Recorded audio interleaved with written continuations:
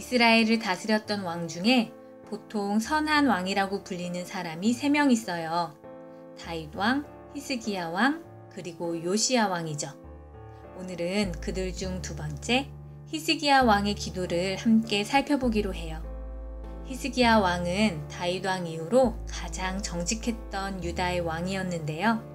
이스라엘의 왕과 백성들이 우상을 숭배하기 위해 산에 만들어 놓은 신전들을 무너뜨리고 하나님께서 주신 모세의 계명도 성실하게 지켰어요. 그런데 문제가 생겼어요. 아시리아라는 나라가 이스라엘 주변 나라들을 모두 정복하더니 북쪽 이스라엘까지 정복하고 이제는 남쪽 유다를 향해 공격을 시작한 거예요.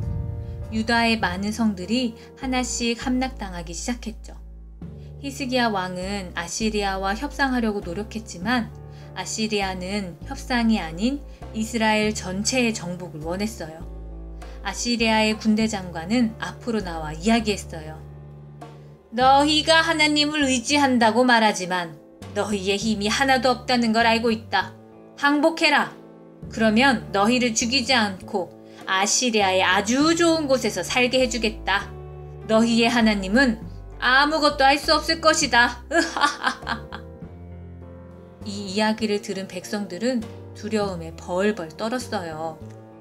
신하들이 히스기야 왕에게 이 말들을 전했어요. 히스기야 왕은 입고 있던 옷을 찢고 굵은 베옷을 입었지요. 그리고 성전에 들어가서 이사야 선지자에게 기도해 달라고 했어요. 두려워하지 마십시오. 이사야가 히스기야 왕에게 말했지만 왕의 두려움은 사라지지 않았죠. 그런데 이번에는 아시리아의 왕이 하나님을 모욕하는 편지를 보내왔어요. 히스기야 왕은 그 편지를 들고 하나님의 성전에 올려놓고 기도했어요. 세상을 만드신 하나님, 아시리아의 왕 사네립이 하나님을 비방하는 편지가 여기 있습니다. 그들이 믿는 신은 살아있는 신이 아니고 사람들이 만든 나무와 돌일 뿐입니다. 그러니 멸망할 수밖에 없습니다. 그렇지만 하나님만이 진정한 신이시니 우리를 구원해 주세요. 온 세상이 하나님만이 진정한 신임을 알게 해주세요.